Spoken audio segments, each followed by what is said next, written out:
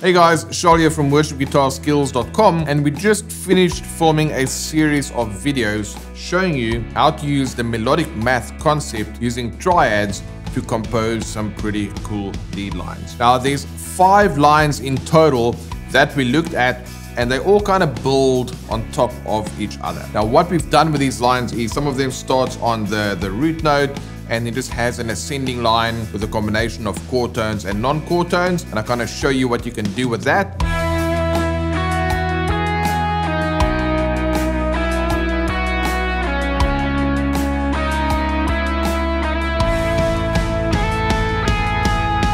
And then we also expanded that by adding some rhythmic variation and taking those same ideas but tweaking them slightly to come up with a more rhythmically driven line.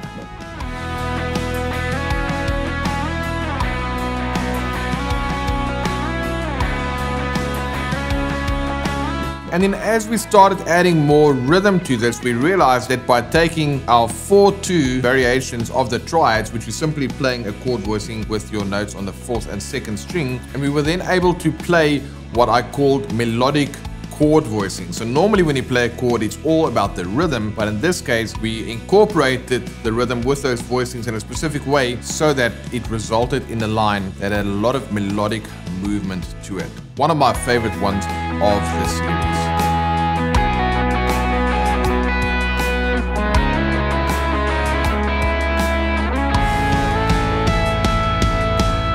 And then our fifth and final line of this series was simply using power chord voicings, but all on the first and second strings and we used both the root position power chord voicings as well as inverted power chords and it had a very repetitive rhythmic pattern but that is the kind of thing that really cuts through the mix and it's a nice line that you can add to a verse, a chorus, a bridge or anything for that matter. It outlines the chords, it's got a lot of rhythmic content to it and those power chords were played on the high strings really cut through the mix.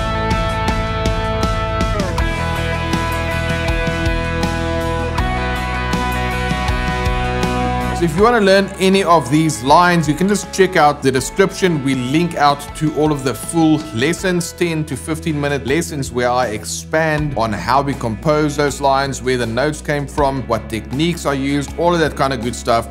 You can go ahead and find the links to the full lessons in the description. Thanks so much for your support here on the channel. Um, we really feel uh, loved and appreciated by all of the wonderful comments and feedbacks that we're getting from you guys and it really helps it for myself and the team just knowing that we are creating value that's helping you in your journey of becoming really the best worship guitar player that you can be. And with that I want to invite you to leave comments for us in, in our videos. Let us know what you are struggling with what you need help with because that way we can make sure to always create content that is going to be of maximum use and maximum value to you. All right, guys, with that, have a good one. Check out the links in the description and I'll see you in the other videos.